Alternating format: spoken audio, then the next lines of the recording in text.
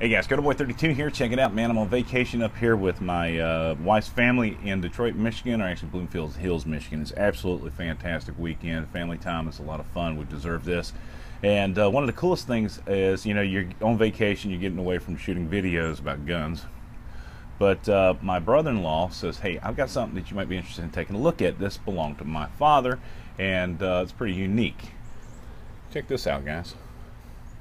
This is a Colt 1903 32 rimless, smokeless, hammerless pocket pistol. Getting ready to do a quick review on this thing. Don't know a whole lot about it, but we're going to go through it.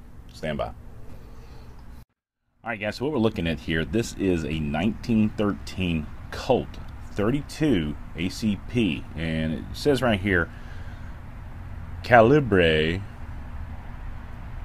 32 rimless, smokeless automatic Colt.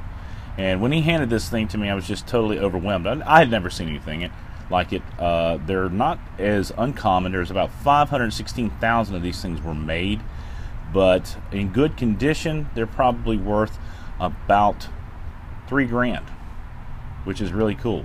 A good one like this one, uh, probably around four or five hundred bucks. But this one has the original grips. These are uh, wood not sure what type of wood. But uh, anyway, let's just go ahead and we'll do it like just any other review. Let's go front to back, okay? So on the back side, we've got a set of dovetailed uh, sights right here. On the front, you've got a set of embedded sights right here. Perfect. This thing is hammerless. The hammerless is covered in the shroud. Now, one of the cool things about it, I want to show you right here, is that it has a the safety is right there. So what we can do, let's go ahead, we'll cock it, put it up in there, and can't pull it. Also, this acts as the slide release, or the slide catch. So you do it like this, bring that down, and there you go, boom, slide release. Got an open chamber right here, extractor right there. I mean, I'm not going to go ahead and pull this thing apart, but it basically, the interiors are all the same as feed ramp up in there. It comes with an eight round magazine. The magazine's not with me right now.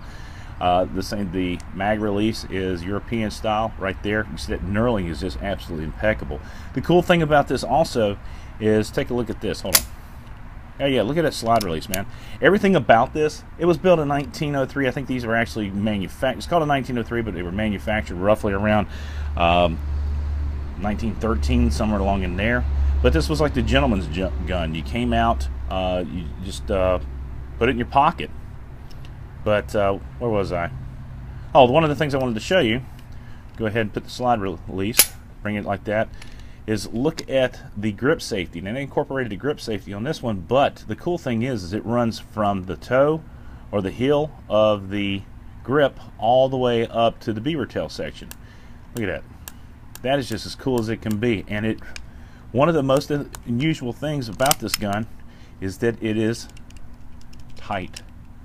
The only thing that you're hearing right there is the barrel. This thing's over 100 years old and it is absolutely impeccably clean, and tight, and amazing. Look at his grips. Engraved, got the pony right there. Colt going across there. You can see up in here where the hammer pin is located right there. I don't know if you can see that. But anyway, I'm going to do some detailed photos of this thing. It's probably not going to be as detailed as the ones I do in the shop, but it's pretty cool. Now, it is a straight pullback trigger. Check this out. Grip safety works. The trigger pull on this little booger is impeccable. I mean,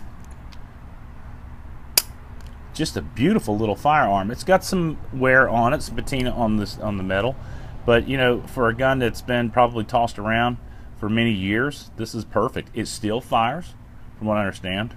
I, I would love to have gotten out to the range and uh, test fired it, but I'm not really uh, that big of a deal on that kind of thing.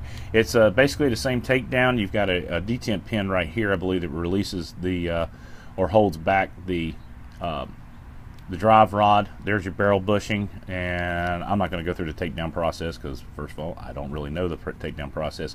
You got some serrations in the back, But this thing is just such a nice little pistol, and it is so clean. Look at that thing. Absolutely perfect, man. 1903 32 uh, ACP Colt. Unbelievable. There's a couple videos out there, a couple really nice reviews of people doing on these things, but uh, this is in the family. This is uh, hopefully get handed down to my son, unless uh, Uncle Matthias has a uh, little boy of his own, but we'll see. But anyway, it's a really nice family heirloom. It's supposed to be here all the time. And that's the way it is. 1903 Colt. You know, one of the cool things about this pistol is it belonged to my wife's father. And he was a very unique guy. He was uh, an Air Force man, flew in World War II, and a really unique person. But uh, this was handed down from uh, Mr. Chuck to his son Matthias, and uh, hopefully this thing will stay in the family for a very, very long time. It's a really cool deal. Guys, if you enjoyed the video, please give me a thumbs up, like and subscribe, that kind of thing. Uh, we've got a lot of cool videos that have been out in the past. And again, we're on vacation and I'm sitting here playing with a gun. Unbelievable. It's Kotaboy32. Hope you guys are having a great day. Thank you for your support. Out.